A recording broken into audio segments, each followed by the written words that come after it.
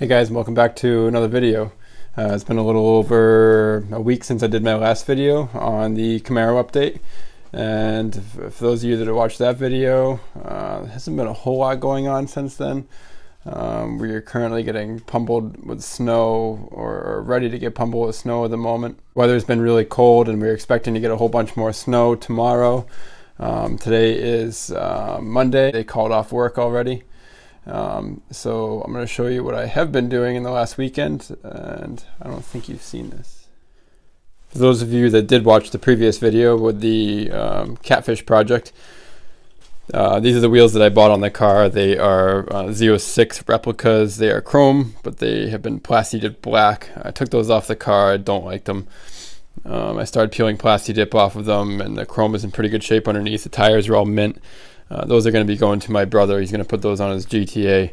So uh, to replace those, I bought OEM SS wheels. These would have uh, been original to what the car would have came with in 2001, which is really what I want. I want the car to look factory on the exterior. Um, so I do have two of those on right now, but the current tires I have are junk. Uh, let's see what I got here.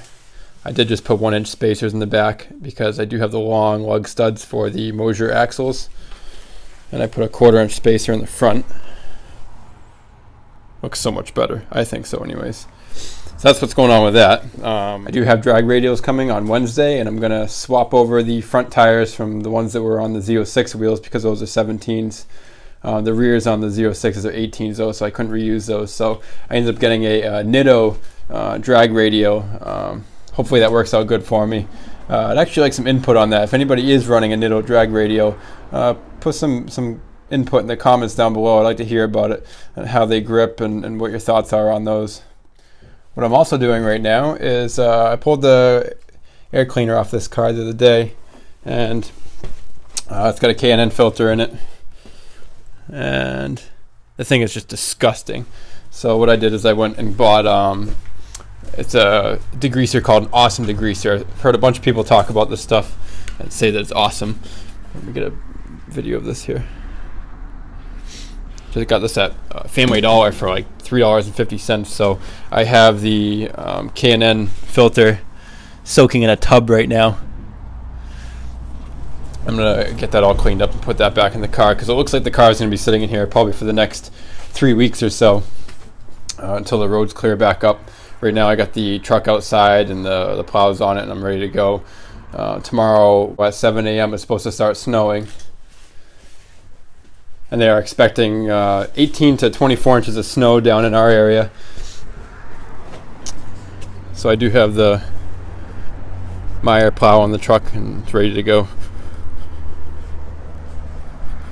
I had to dig it back out. I took the thing off a little while ago, uh, a month ago or so, because we haven't gotten any snow out. Had to dig it back out of the woods and put it back on again. Tested everything, and, and everything's working good. Pumped up all the tires, set all my tire pressures, a little bit of weight in the back, and um, that's what's going on with that.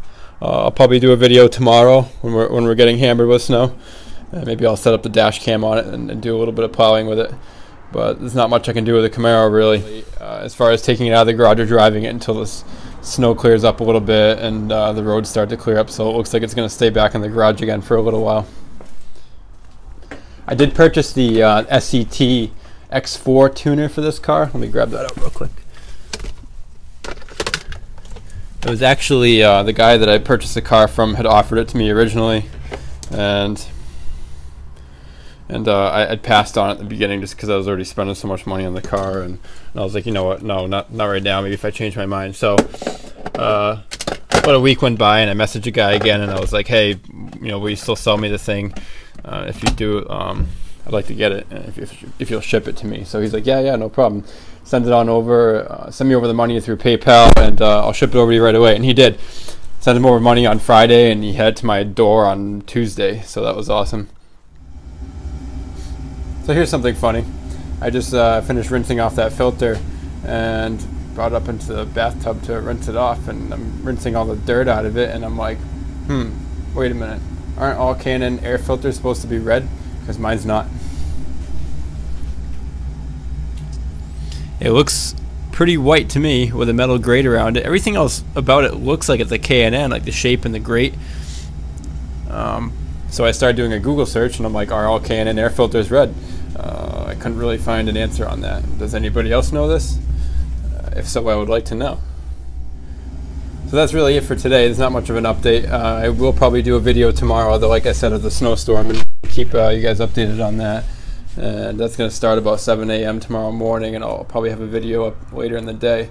So stay tuned for that. Um, for those of you just watching my videos, please uh, click the subscribe button if you haven't already. Uh, I always appreciate that.